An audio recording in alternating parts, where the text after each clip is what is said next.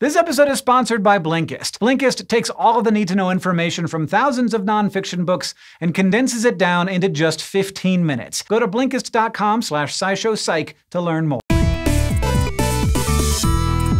If you've ever played with the Ouija board, you're probably familiar with the spooky feeling of another presence moving the planchette. But we can say something with a bit of confidence here. It's not a ghost. It is your brain playing tricks on you. In fact, psychologists have a pretty good understanding of Ouija boards. They've figured out not only how the planchette moves across the board, but also why we're so easily convinced a spirit is the one behind it. In a sense, the way we interact with Ouija boards is similar to how we've learned to interact with most of the world through associations. As infants, we begin learning to associate our behaviors with certain outcomes. Like, if I cry, my caregiver will give me food or attention. So after just a few trials, we can begin to understand how our world works and how to survive in it. But this also means that generally our brains end up wired to think in terms of cause and effect. It's just that figuring out what caused something can be a challenge, and that's especially true with Ouija boards. Under normal circumstances, we realize our actions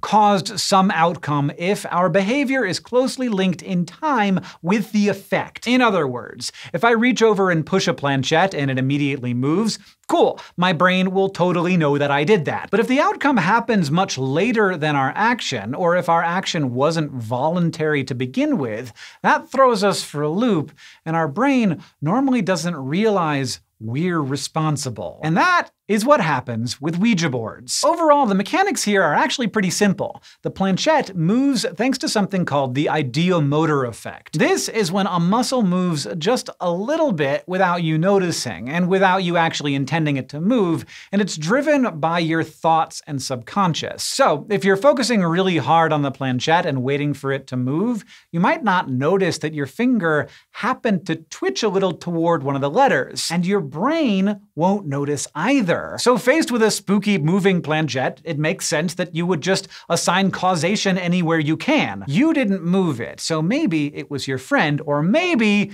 it was some spooky. A key brain region in figuring this out is called the caudate nucleus, and it deals with motor behaviors and reward-based learning. But the other major player here is the dorsolateral prefrontal cortex, or DLPFC. This region has kind of a big job. It figures out who or what caused something to happen. It's just not always great at it. I mean, in its defense, figuring that stuff out is hard. Like, something could have been caused by your actions or by chance or by some other factor. So this region needs to take in information about tons of only possibly relevant cues and determine which ones are actually important. And while this usually works out, sometimes the DLPFC is just a little overeager to assign credit somewhere. And that means we might superstitiously give credit to something irrelevant just on accident, like a ghost. Admittedly, it could seem like there's a bit of a jump between your brain doesn't know what caused something to move to there is a ghost in the room. But here, a look at personality traits may help explain why some people are more inclined to give credit to something supernatural. Specifically, there's an idea in personality psychology called locus of control. A person with a strong internal locus of control